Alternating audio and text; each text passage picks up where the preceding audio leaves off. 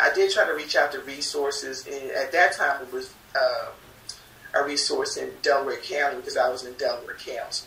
And it did make the newspaper because it was attempted murder when he tried to kill me when I was trying to leave him. It's real when they tell you, right, to be safe when you leave and never tell them. I just want to put that out there. It's very important because I told him a week before that I was leaving.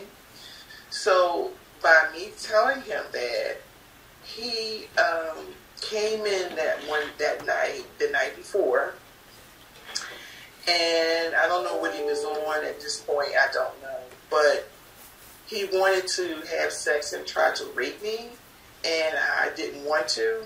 So then he just he just started in on beating me from the bedroom to the living room. My mouth was bleeding, blood everywhere.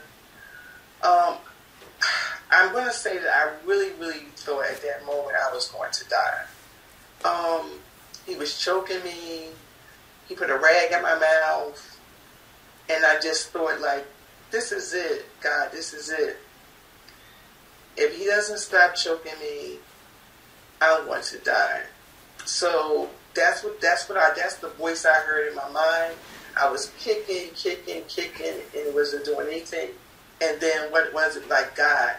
He just he fell out. He collapsed.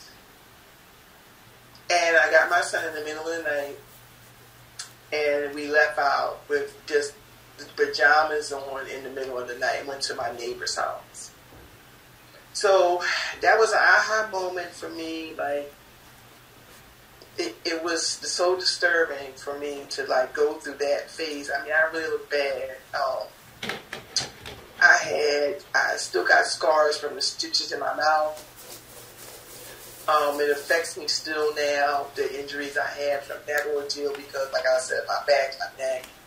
Um, and like I had like some some issues with my, I had this whole scarring so it's like skin under my lips. So sometimes when I talk, it you know affects the way I talk. I just recently noticed that when I was going to the dentist, so it was weird. But I just wanted to just um, explain, you know, what I've been through from that time, from that time frame until now.